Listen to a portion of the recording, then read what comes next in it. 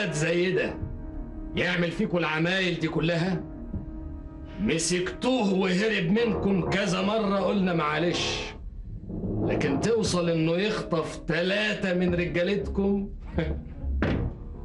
أهو ده اللي أنا مش قادر أصدقه. كاظم بيه أنا من الأول قلت لك لازم نخلص منه وأنت اللي رفضت وقلت سيبونا اتصرف. وديك لحد دلوقتي اهو. لا اتصرفت ولا عملت أي حاجة. يعني إيه؟ يعني لو كنت سبتنا نخلص منه من الأول ما كانش حصل أي حاجة من ده كله.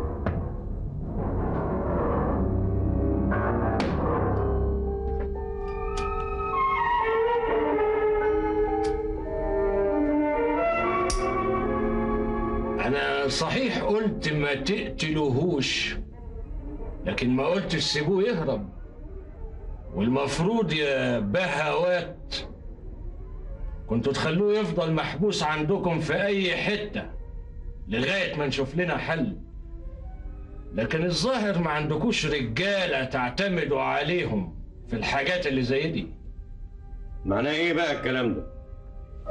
انت جايبنا هنا عشان تتريق علينا ولا إيه؟ يا بهوات يا بهوات مش كده يا بهوات. ده إحنا كلنا بهوات مع بعض. إحنا جايين عشان نشوف حل مش عشان نشد مع بعض.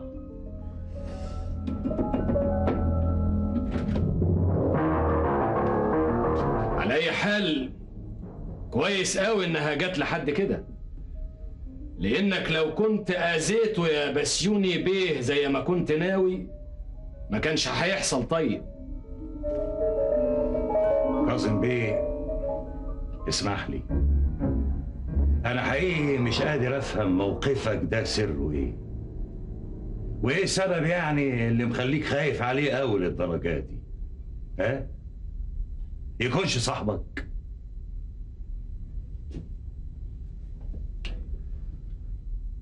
أيوه صاحبي.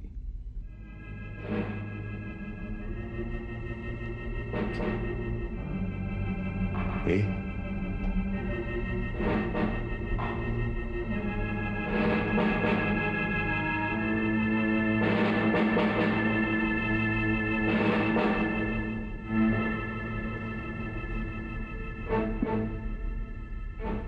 انت بتقول إيه؟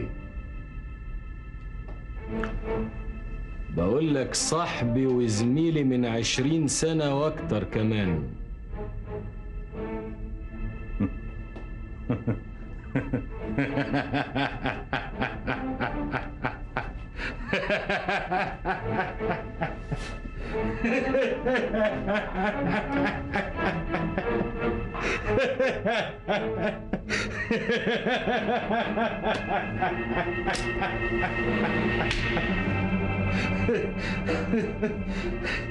طيب مش مش كنت تقول لنا الحكاية دي من زمان عشان عشان نعرف المسائل ماشية إزاي؟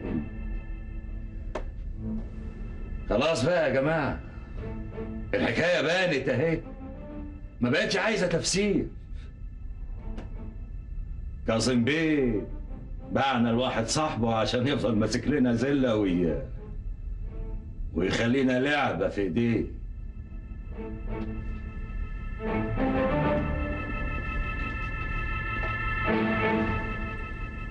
حاسب على كلامك يا بسيوني.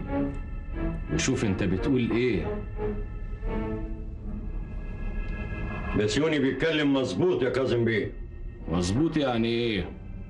يعني لو كان الجدع ده حقيقي صاحبك وتعرفه من عشرين سنة يبقى مفيش تفسير للحكاية دي غير اللي قاله بسيوني معنى كده إن أنا اللي محرض عادل عليكم. أيوه. وأنت اللي بترسم وتخطط له كل حاجة. لأنك عارف ومتأكد إن المستندات اللي معاه دي مش هتأذيك انت. لكن هتضرنا إحنا وبس. لكن يكون في علمك لو أي حد جت رجله في القضية دي إحنا كمان هنجرجرك معانا في قضايا تانية كتير. على رأي المثل عليا وعلى أعدائي يا كاظم بيه. بسيوني احترم نفسك واتكلم كويس أحسن لك. إيه؟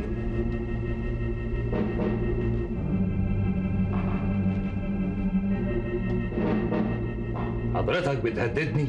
يا بهوات يا بهوات مش كده يا بهوات عشان خاطري عشان خاطري يا بيه عشان خاطر حسني بردون عشان خاطري عشان خاطري يا بهوات. تعال استريح اقعدوا نتفاهم اقعد استريح اقعد هنتفاهم هنتفاهم. كاظم بيه. مفيش داعي الكلام يوصل بينا للحد ده. انت مش سامع اللي بيقوله؟ بسيوني عاوز يعرف مدى علاقتك بالجدع ده عشان يقدر يحدد موقفه. يبقى كان لازم ينقي الكلام اللي يقوله عشان ما يغلطش.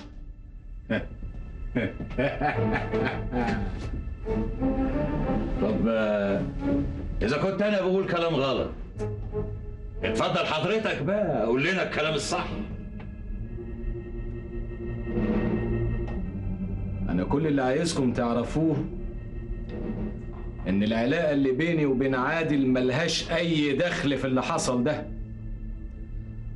عادل صاحبي آه لكن ما يعرفش أي حاجة عني ولا عن شغلنا.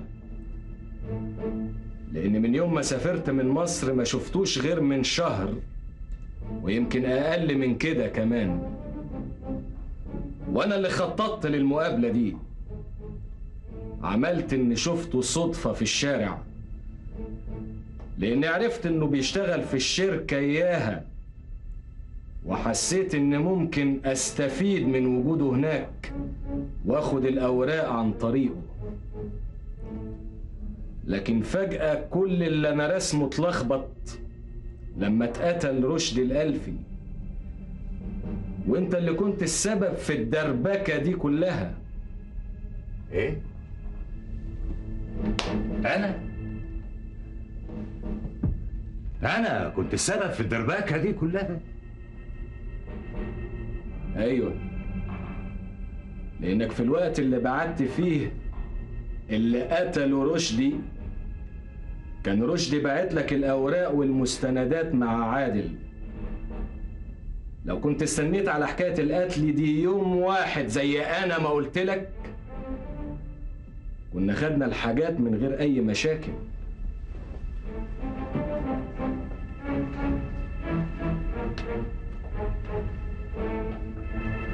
أنا فوجئت بعد كده. لما عرفت إن عادل هو اللي كان رايح بالظرف وإنه هو اللي بقت في إيده أرواحنا كلنا. وإذا كنت متصور إن أنا مش مهتم بالحكاية دي لأن مش متورط فيها زي ما بتقول يا بسيوني بيه تبقى غلطان. لأن أي حد مننا لما يقع وتنكشف أوراقه هنتأذي كلنا معاه. يا بهوات يا بهوات أهم حاجة دلوقتي نفكر فيها. هنعمل إيه في الجدع ده؟ هنسيبه يلعب بينا لحد ما يودينا كلنا في داهية. عادل ده على نياته. ما يعرفش يلعب على حد. أمال مخبي الظرف والأوراق ليه؟ لأنه متصور إن الأوراق دي هتساعده على إنه يثبت براءته. ولا أنتوا ناسيين إنه هو اللي متهم في قتل رشدي الألفي؟ طب وبعدين؟ هنجيب منه الأوراق إزاي؟ خلوا الحكاية دي عليا أنا.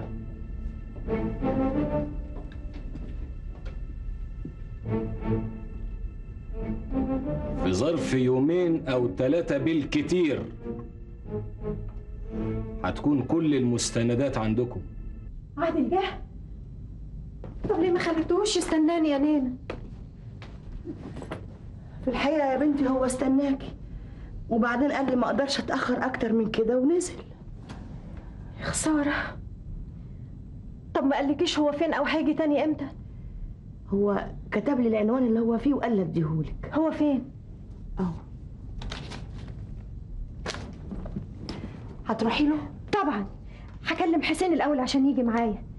أنا متفقة معاه على سيم أقوله له بالتليفون فيفهم إن هو هنا.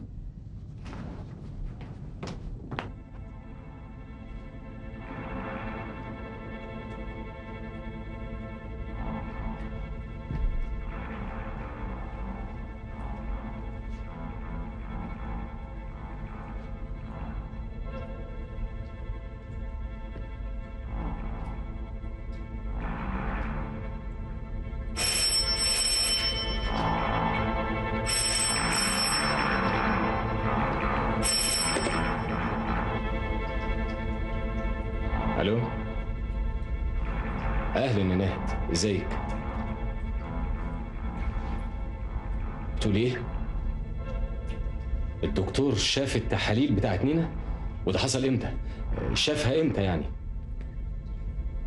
النهارده الصبح. انت بتتكلمي منين دلوقتي؟ من جنب بيت نينا. طب اسمعي استنيني قصاد المطعم بتاعنا وأنا هفوت عليكي بالعربية كمان ربع ساعة. مع السلامة.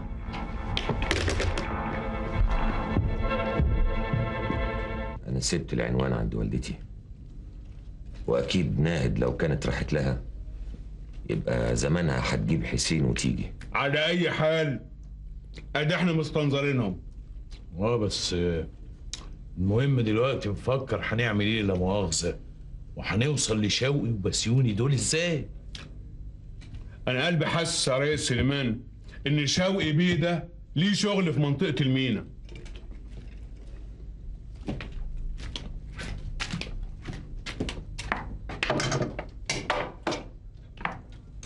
انت مش قلت انك كنت سامع اصوات مواتير ومكن في الحتة اللي خدوك فيها؟ يبقى أكيد له مكتب أو مخزن هناك. يا ما هو كمان يا صابر ممكن تكون الاصوات اللي سمعها الاستاذ عادل دي لا مؤاخذة طالعة يعني من مصنع أو ورشة كبيرة. ده ما يمنعش برضو اننا ندور في منطقة المينا. استدلينا عليه تانا به ما استدلناش نسأل في حتة تاني طب آه، مؤاخذة يعني مش عرفنا إن اسمه صحيح شوقي عبد الباقي. مش ممكن يا أستاذ عادل يكون يعني قال لك اسم غلط؟ ما هو كده ولا كده؟ إحنا لازم نبتدي. أنا هسافر اسكندرية وهروح أقعد في منطقة المينا يومين ثلاثة وهعرف من الناس اللي هناك أي حاجة عن شوقي عبد الباقي وهعرف إزاي أوصل له. لا يا أستاذ عادل لا مؤاخذة بقى. أنا مش موافقك على حكاية السفر دي. طب وأنا قدامي حاجة تانية عشان أعملها ما أنا ما عنديش أي خيار. بس لا مؤاخذة أنت بقى لو ظهرت في المينا هتقع في إيديهم في ثواني. آه، لا مؤاخذة يعني رجالتهم متنطورين في كل حتة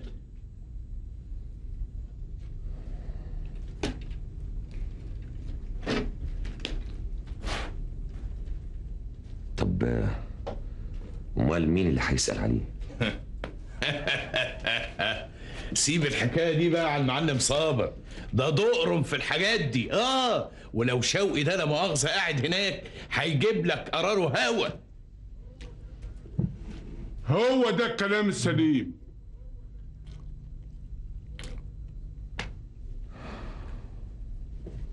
إيه؟ إيه يا أستاذ عادل؟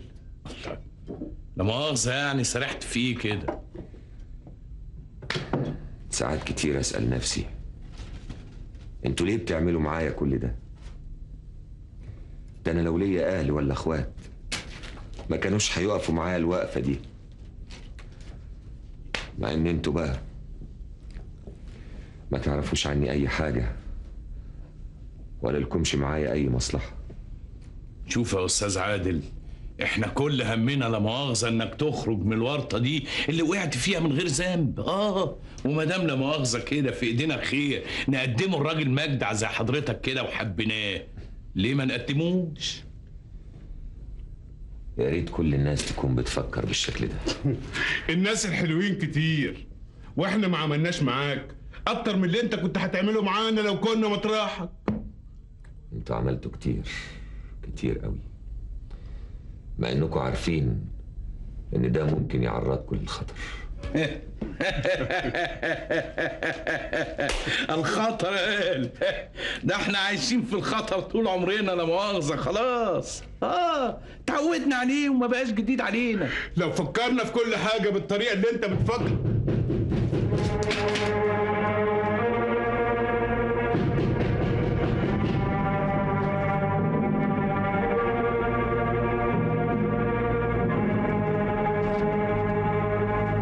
أستاذ عادل خش انت الاوضه دي لا مؤاخذه لا لا لا لا لا لا تعال اطلع السلم اللي جوه اطلع فوق هنا اطلع اطلع اطلع في الدلوه اللي هناك دي يلا صابر افتح باب ماشي اجري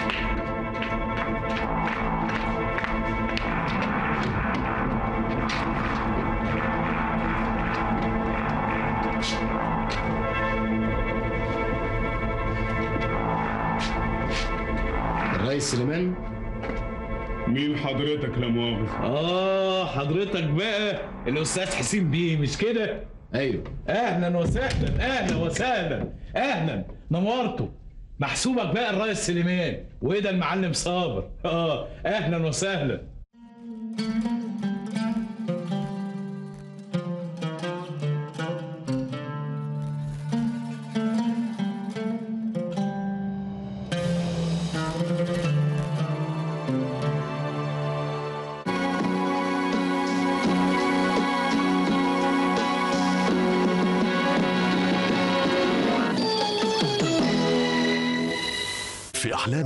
يوشك أن يستلم جائزة أفضل موظف وبطلنا يوشك أن يخلص العالم من الأشرار بهذه البساطة تهدم الأحلام. فيكس فابوراب الجديد اثنان في واحد يخفف من أعراض السعال واحتقان الأنف. ونوما هادئ حتى تكتمل أحلامهم للنهاية.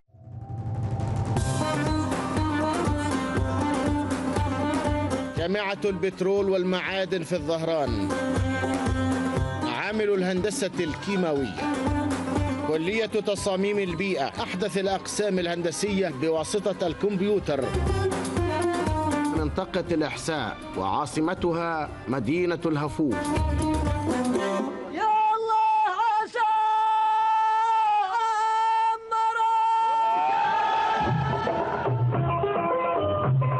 ربوع بلادي الأربعاء الثامن والنصف مساء على ذكريات.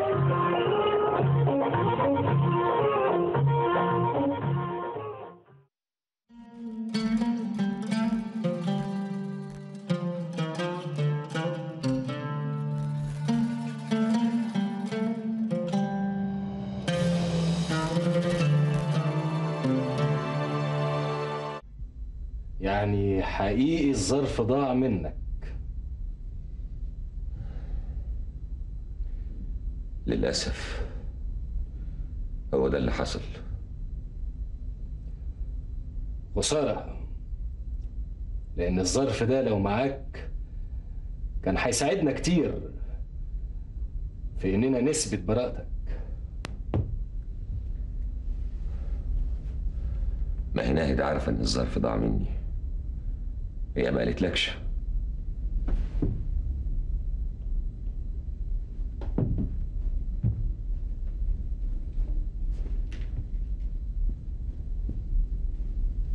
انت كنت عارفة إن الظرف ضاع؟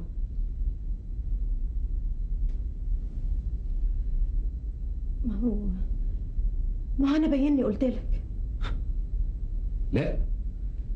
أنت قلت لي إن عادل رجع اسكندرية يدور على بسيوني طه. وأنا فهمت إنه رايح له. علشان يساومه بالظرف. قصاد إنه يشهد معاه. طب وهنعمل إيه دلوقتي؟ ما افتكرش إن في حل قدامنا دلوقتي غير اللي أنا قلت لك عليه قبل كده. حل إيه؟ تسافر بره مصر. أهرب. مفيش حل تاني يا عادل ولازم نعمل ده بسرعة لأن كل دقيقة بتفوت دلوقتي فيها خطر عليك وعلى حياتك. ده البوليس بيدور عليك ليل نهار.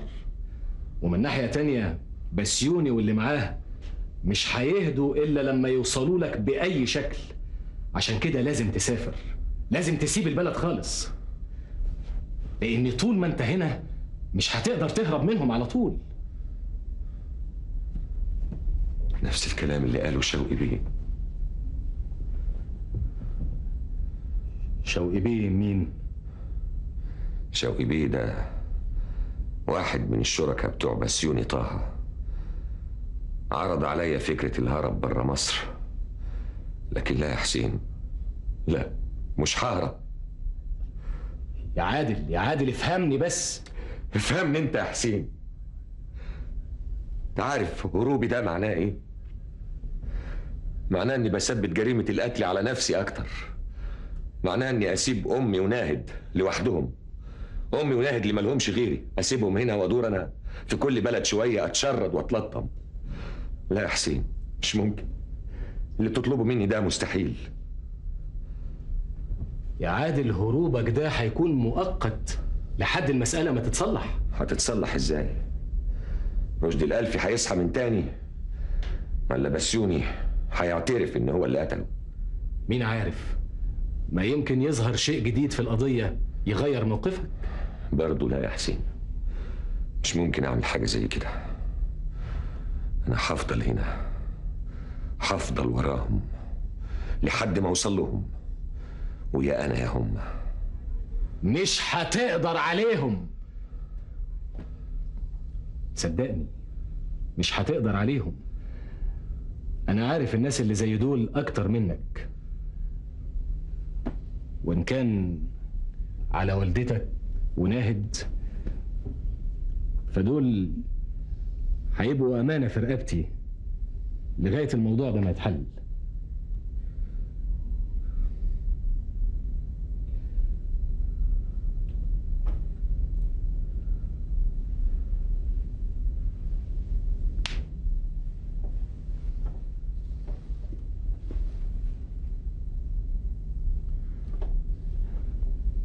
يا عادل أنا عارف إني بطلب منك شيء صعب بس ما باليد حيلة.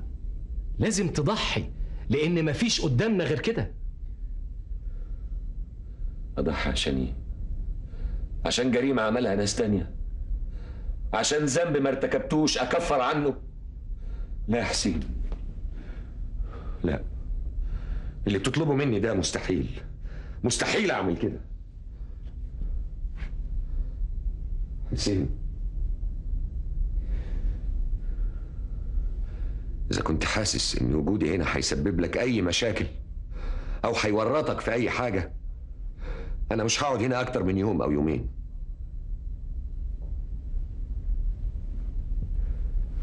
إيه اللي أنت بتقوله ده يا عادل؟ بقى أنا عايز أهربك عشان خايف من وجودك معايا؟ اخص عليك. معلش يا حسين ما تاخدش على كلامي. أنا أنا أصلي في حالة وأنا مقدر الحالة والظروف اللي أنت فيها. عشان كده أنا عايزك تبعد عن هنا خالص. ومين عارف؟ ما يمكن ربنا رايد لك في ده خير. لو ربنا رايد لي الخير هيخليني أوصل للي تسببه في كل اللي أنا فيه دلوقتي.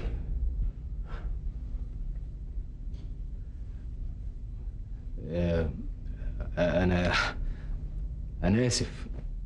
المفروض إنكم مشتاقين تقعدوا وتتكلموا مع بعض. وأنا الظاهر إني رغيت وخدت كتير من وقتكم. عن إذنكم.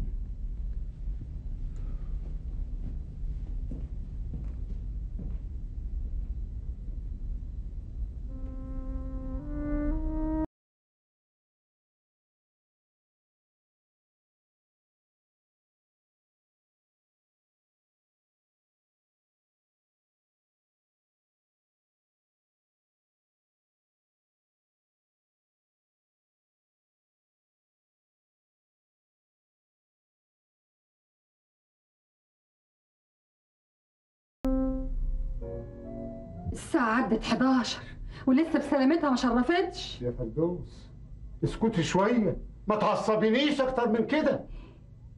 هو أنت خلاص؟ ما بقتش طايق تسمع مني ولا كلمة. ما أنت قلتها وسمعتها 100 مرة. كفاية بقى ارحميني.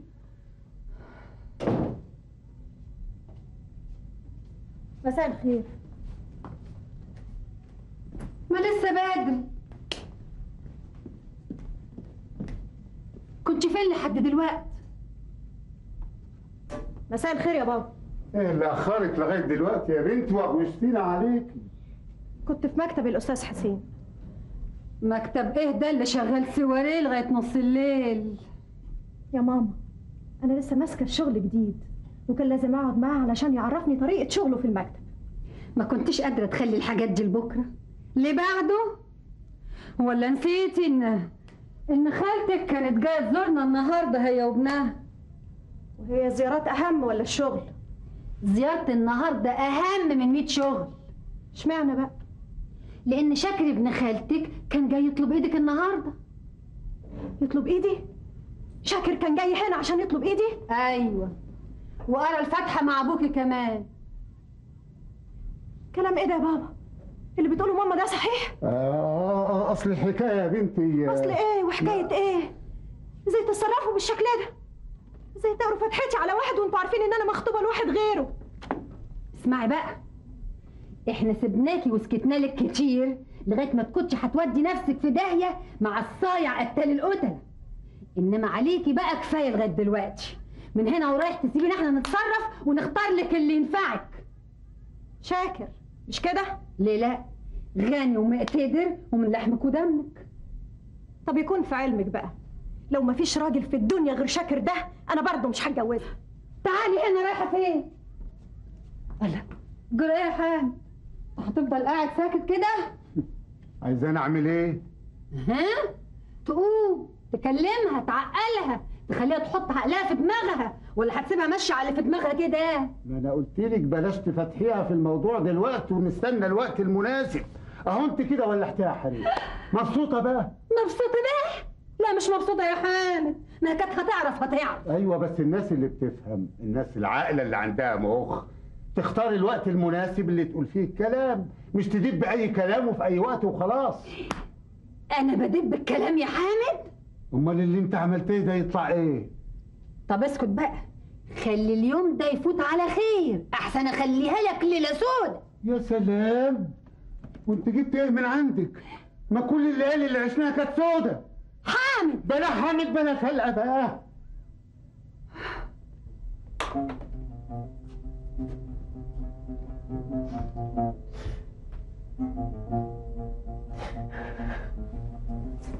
ناه انت بتعيطي؟ أنا عايزني بعد كل اللي سمعته ده يا بابا. ما عيطش. يا بنتي. يا بابا إزاي وافقت على حاجة زي كده؟ إزاي تقرا فتحتي على واحد وأنا مخطوبة لواحد تاني؟ أنت عارف قد إيه أنا بحبه وهو بيحبني. أنت عارفه يا ناهد قد إيه أنا بحب عادل أنا بنتي بعتبره زي ابني أو أخويا الصغير. أمال إزاي ده حصل؟ وهو من يوم المصيبة دي ما حصلت. أمك نازلة زن على دماغي لازم ناهد تتجوز شاكر ابن خالتها. مفيش على لسانها غير الموضوع ده. فأنا اضطريت أوافق مبدئيا لكن فهمتهم إن الرأي النهائي في الموضوع ده ليك أنت. ما كانش في داعي كده يا بابا لأنك عارف رأيي في شاكر ابن خالتي كويس. وأنا يا بنتي ما بغصبكيش إنك تجوزيه. بس برضه بص لمصلحتك. يعني إيه؟ يعني مش عايز حبنا العادل وقوفنا جنبه ينسينا نفسنا. بصراحة من يوم الحكاية دي ما حصلت والناس واكلة وش بالكلام خصوصا قرايبي وقرايب أمك اللي يقول إزاي تخطب لبنتك واحد زي ده واللي يقول إحمد ربنا إنه انكشف قبل ما تتجوزوا وكلام من ده كتير. الناس دي ليه عندنا إيه يا بابا عشان يقولوا كده؟ ملهاش حاجة بس أديهم بيلقحوا بالكلام وأنت عارفة الكلام ده كويس بيأثر على سمعة أي بنت. ناهد. أنا من خوفي عليك وعلى مصلحتك. عايزك تفكري في حكايتك أنت وعادل. فكري بعقلك مش بعواطفك. تقصد إيه بالكلام ده يا بابا؟ بصراحة يا بنتي مش من مصلحتك إنك تفضلي مخطوبة لعادل. لازم نعلن الناس إنك فسخت الخطوبة وإنك اتخطبتي أو هتتخطبي لحد تاني. مش مهم الحد التاني ده يكون شاكر ابن خالتك. إنما المهم يا بنت إن الناس كلها لازم تعرف إن مفيش أي علاقة بتربط بينك وبين عادل. أنت يا بابا اللي بتقول كده. ده أنت أكتر واحد يعرف عادل كويس وعارف إنه مش ممكن يعمل أي حاجة من اللي بيقولوها عليه ده. أنا وأنت بس يا بنت اللي نعرف لكن الناس ليها اللي قدامها وأنا ما كنتش أستحمل عليك كلام الناس. وافرضي إن عادل ما قدرش يثبت براءته هتعملي إيه؟ هتفضلي عايشة طول عمرك كده؟ ناهد فكري بعقلك وبصي لمصلحتك. انت وقفت جنب عادل ووالدته أكتر من اللازم وعملت الواجب وأكتر. بس لحد إمتى؟ هتفضلي كده يا بنت لحد إمتى؟ بابا تفتكر لو كنت أنا مكان عادل يعني لو كنت أنا اللي اتورطت في المصيبة دي. تفتكر كان عادل هيتخلى عني ويسيبني عشان كلام الناس؟ لا يا بابا. مش هما اللي هيحكموا على عادل في قضية لسه ما تعرفش بالتحديد مين فيها المجرم ومين البريء. يا بابا اوعى تفتكر إني ما فكرتش في الحكاية دي بعقلي. لا فكرت فيها كويس قوي. وعرفت إني مش ممكن أتخلى عن عادل أو أسيبه مهما حصل. لأنه أهم عندي من أي كلام يتقال. وأهم عندي من كل اللي بيقولوه الناس. كلام إيه اللي بتقوله ده يا كاظم بيه. بقول لك الظرف ضاع فعلا من عادل. وضاع منه إزاي بقى؟ وامتى وفين؟ في القطر ساعة ما كان جاي من عندك في اسكندرية. وانت صدقته لما قال لك كده؟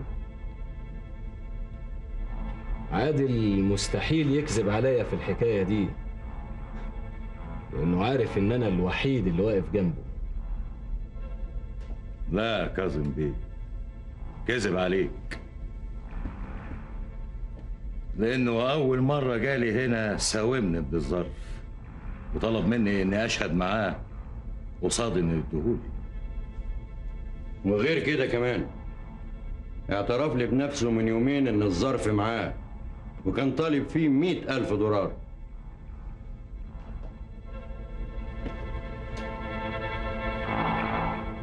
كان بيلعب عليكم بالكلام ده علشان يخلص نفسه. لما قال لك هديك الظرف كان بيقول لك كده بس ساعتها علشان تشهد معاه لأنه عرف إن الأوراق اللي فيه مهمة قوي عندك.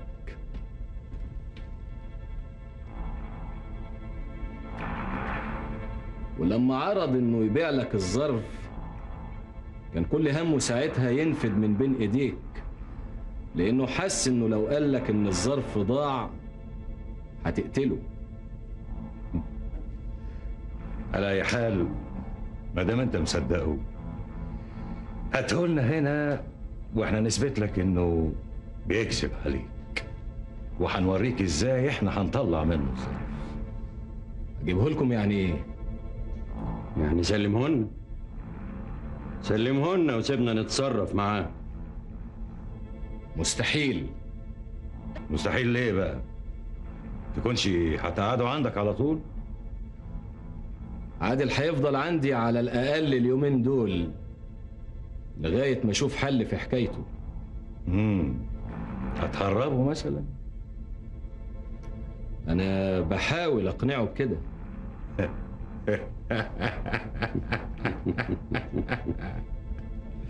والله يا عال عال قوي. يعني إحنا هنحمي الراجل اللي عامل لنا المصايب دي كلها. وهنهربه بره كمان ها؟ مش كده يا كاظم بيه؟ وانتوا عايزين منه إيه دلوقتي؟ الظرف ومش معاه. وما افتكرش ان في بينكم وبينه اي حاجة تانية غير كده. يعني إيه بقى؟ أنا مش فاهم.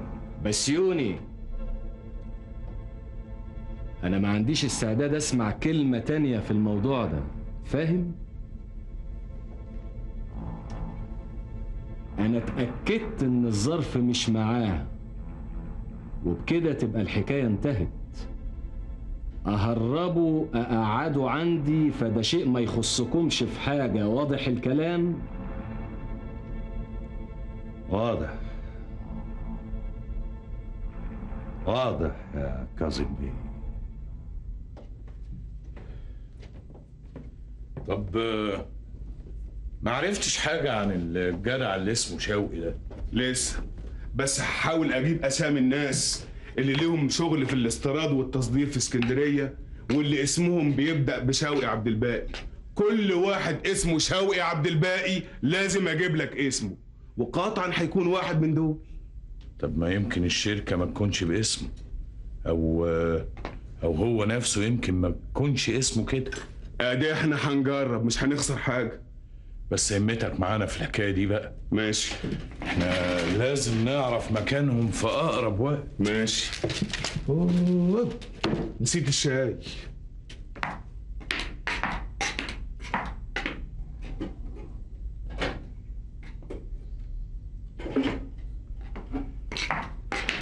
ما قلتليش. إيه رأيك في الجدع اللي اسمه حسين صاحب عادل ده؟ عمرك أطول من عمري.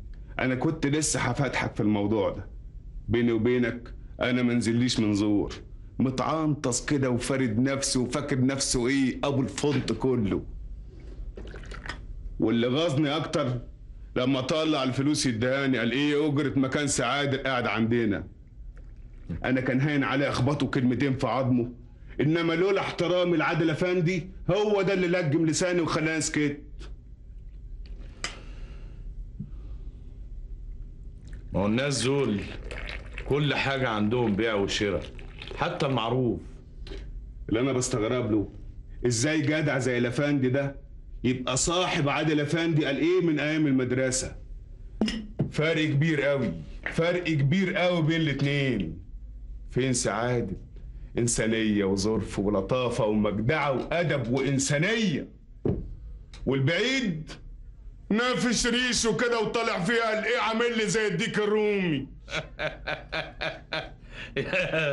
ده انت باين عليك شايل منه قوي بصراحة آه.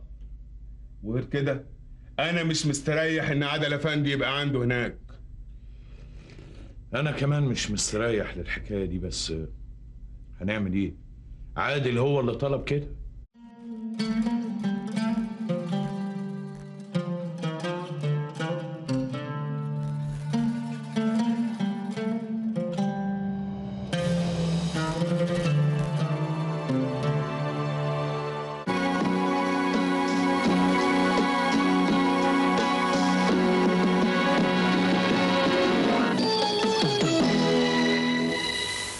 ولدك صحي من النوم عشان بشرته مبلولة من الحفاض؟ جديد ولأول مرة بامبرز ليلية. صممت خصيصا لينعم طفلك بليلة نوم هادئة بدون اضطراب. بفضل طبقة النوم المعززة اللي تحبس البلل بعيدا عن الجلد حتى 12 ساعة بدون ما تغير الحفاض وبدون تسريب. خلي صباحهم مليان لعب وشقاوة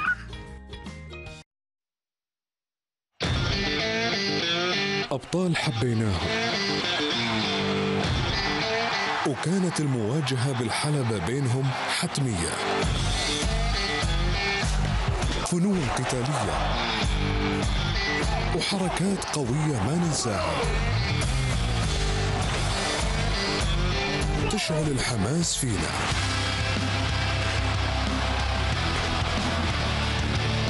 ونبقى منتظرين الفايز للنهاية.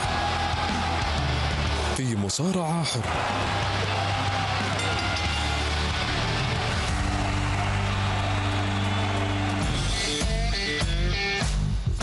المصارعة الحرة الثلاثاء الحادية عشرة مساء على ذكريات.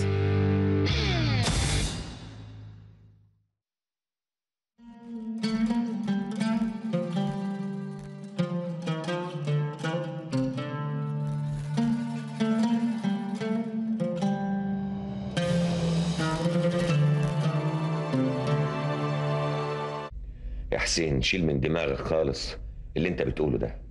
أنا ما أقدرش أسافر وأقضي بقية عمري هربان. يا عادل أنا بقول كده علشان خايف عليك. أنا عارف إنك خايف عليا. بس اللي ايده في المية مش زي اللي ايده في النار. يعني إيه؟ حسين أنت بتبص للمسألة ببساطة كده لأنك مش عايش الظروف اللي أنا فيها. أنت كان سهل عليك زمان تسافر. وتسيب البلد سنين طويلة. لكن أنا ظروفي غير كده خالص. أنا ورايا أم مسؤولة مني. وقدامي مستقبل راسم له صورة في خيالي. وتعبت كتير وأنا بحاول أحققه. ما افتكرش إنه سهل كده أرمي كل الحاجات دي ورايا وأسافر. وإيه قيمة المستقبل اللي أنت راسمه في حياتك طالما إنك عايش مهدد بين لحظة والتانية؟ يا تقع في إيد البوليس يا في إيد بسيوني طه واللي معاه. دول هياخدوك على حبل المشنقة ودول هيقتلوك علشان يدفنوا سرهم معاك. وأنت يا عادل لا قد دول ولا قد دول.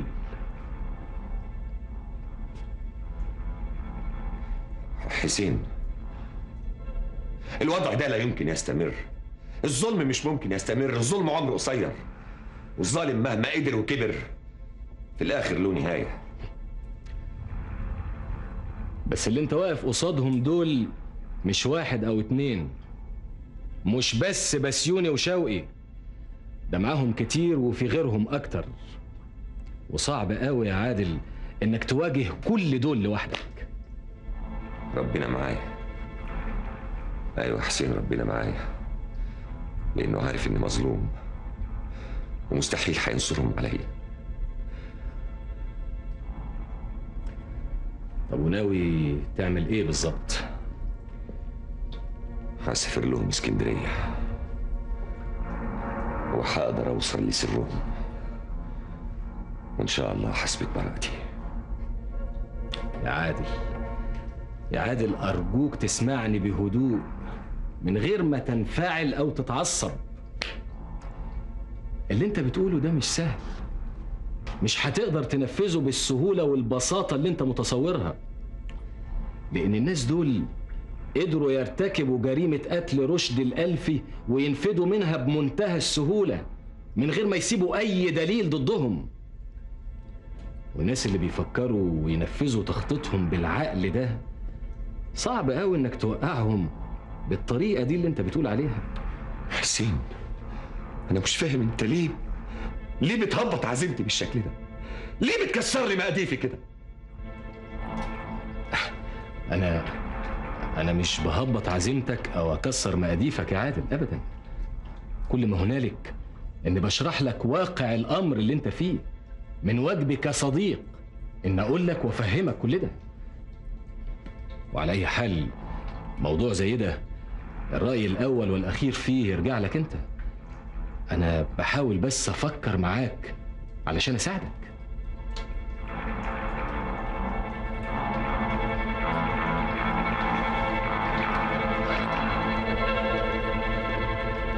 اتعشيت.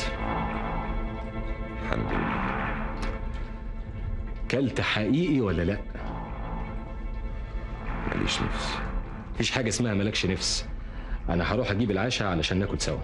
صدقني يا حسين مش هقدر آكل. لما تشوف الأكل قدامك هتاكله على طول.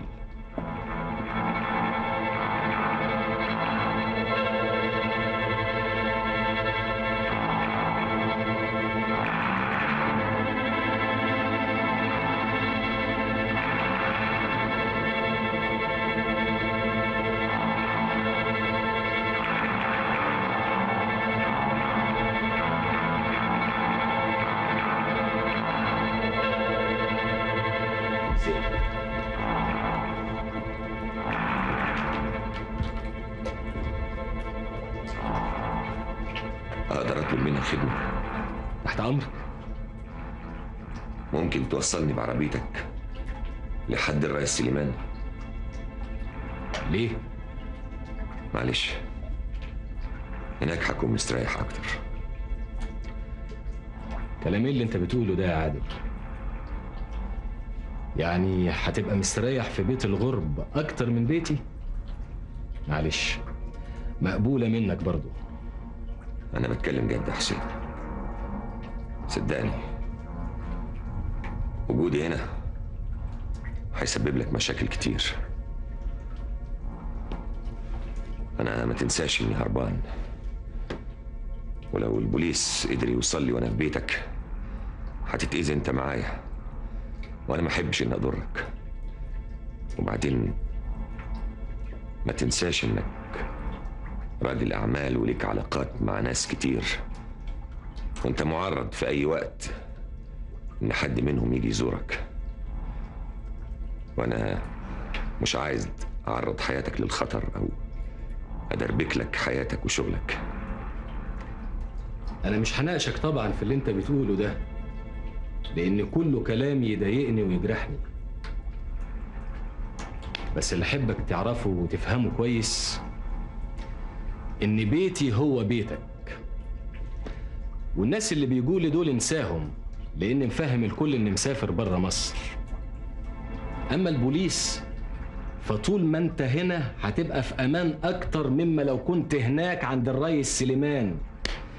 لأن الأماكن اللي هم فيها دي البوليس بيعمل عليها كبسات كل دقيقه والتانيه أيوه بس أنا رأيي يا حسين أنا رأيي إن إحنا نقفل الكلام في الموضوع ده لحد ما ناكل على الأقل. عشان حقيقي يا حبيبي أنا ميت من الجوع. صدقني يا حسين مش هقدر آكل.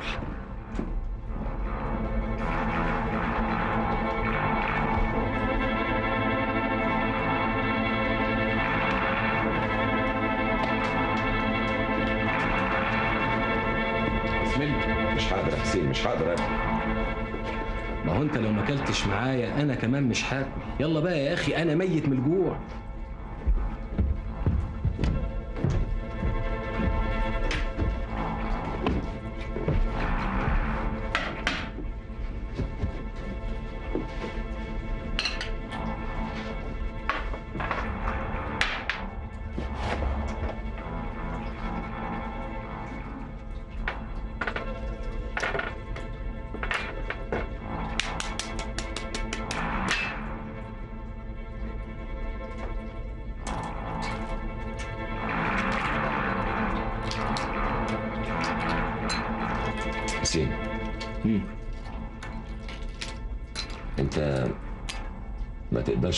حاجة عن بسيوني طه وشوقي عبد الباقي دول.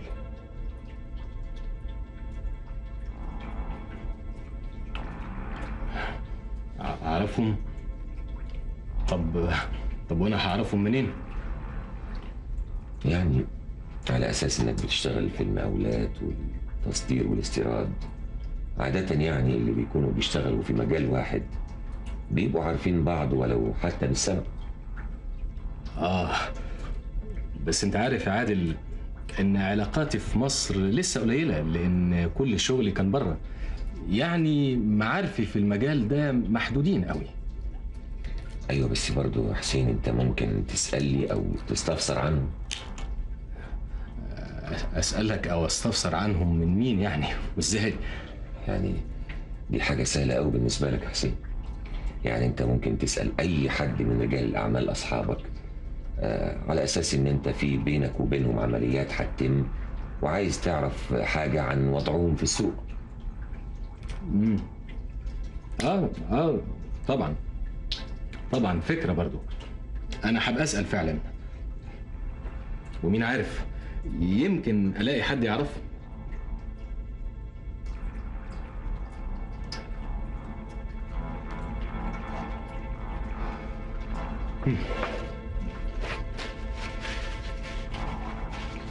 إيه ده؟ أنت لحقت تشبع؟ الحمد لله. مش معقول. ده أنت كنت بتقول إنك ميت من الجوع. لا ما هو أنا طقتي صغيرة كده. إيه، تشرب شاي؟ زي بعض.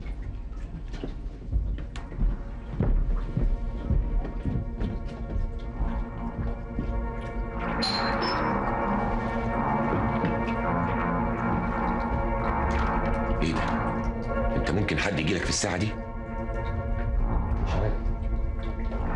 تعالى تعالى بس خش انت جوه.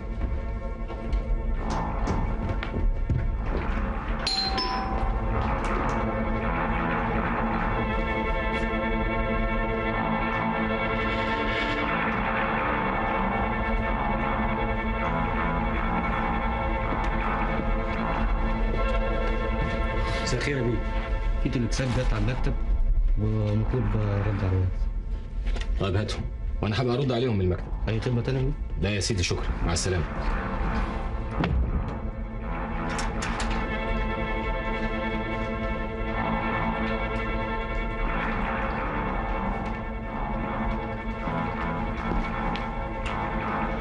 مين ده؟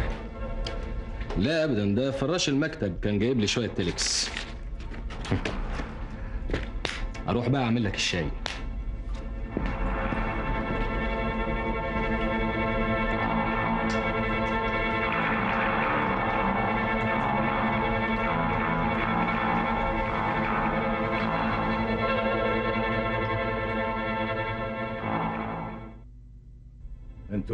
برضه صدقتوا التخريف اللي بيقوله كاظم بيه ده.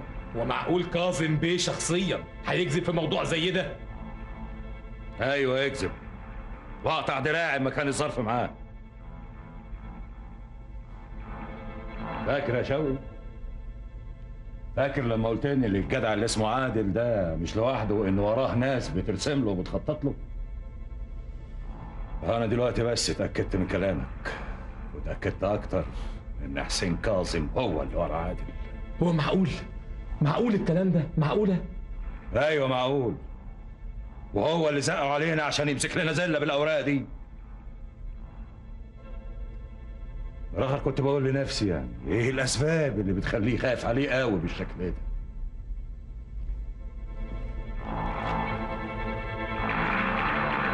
دايما يقول هو حد يكلمه؟ هو حد يأذيه؟ سيبونا نتصرف. اللي إحنا سيبناه لحد ما هنروح كلنا في داهية. لكن معلش أنا هعرف إزاي أوقف اللي اسمه قاسم بيه ده عند حده. هتعمل إيه يا بسيوني هخلصكم من اللعبة دي كلها. وهجيب الأوراق. أنا عارف هم مخبيينها فين. يعني ممكن يكون كاظم مخبيها عنده في الفيلا؟ لا. مش في الفيلا. دي في حتة تانية. حتة تانية خالص. حتة تانية واثقين إن محدش هيفكر فيها ولا حتى هيوصل لها. فين؟ فين؟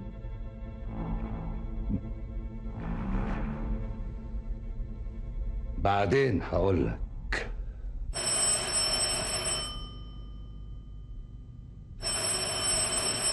طيب يا اللي بتخبط. طيب مفيش صبر. ولا أفندم. ولا كلمة. حضرتك عايز مين؟ ادخل انت اهو. عايزين إيه من فضلك؟ اقفل الباب يا خالد أنتوا وين؟ يا- فتش الأوضة يا- كلها. ما تخليش ولا حتة أنا ما كنتش فيها. يا أصلا بسرعة يا خالد